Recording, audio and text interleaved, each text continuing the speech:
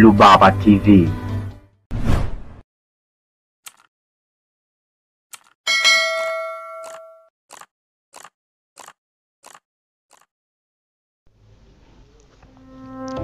E bwana eh, kocha wa Simba bwana ameamua kumpigia saluti huyu winga mpya wa Simba bwana Joshua Mutale bwana.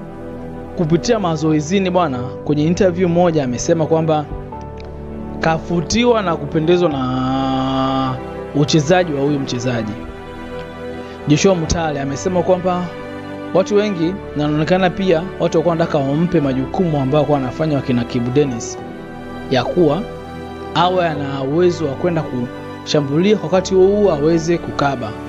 Mutale anaonekana uchezaji wake bwana ni kama unana. Kwa sababu gani?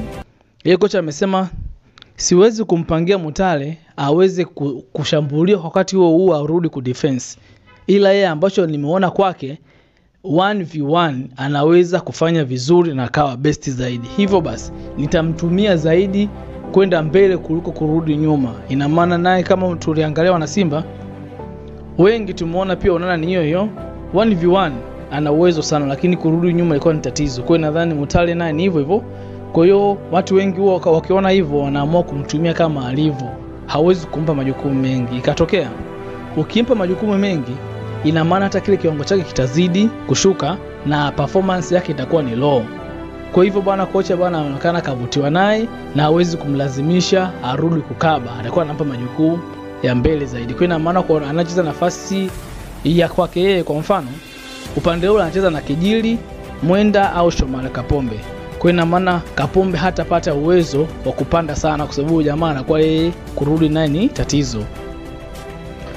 Kwa hiyo ndio hivyo bwana. Kwa hiyo kwa upande wa nani vile vile. Kwa hiyo kila mchezaji nadhani kila mtu anakuwa na mapungufu yake na mazuri yake. Kwa kocha ameamua kumtumia kwa mazuri yake. Hivyo ndio ilivyo. Yaani huwezi kumlazimisha mtu akupe kila kitu. Mixon anaanza kukupa vyote. Kibudia anakupa vyote, lakini tukienda nje mtu kama Neymar, Neymar hawezi kukupa vyote.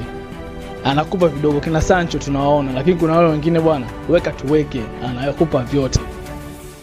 Haya bwana, usisahau kusubscribe, kulike na kushare. Ni mimi France Muiche. Asante.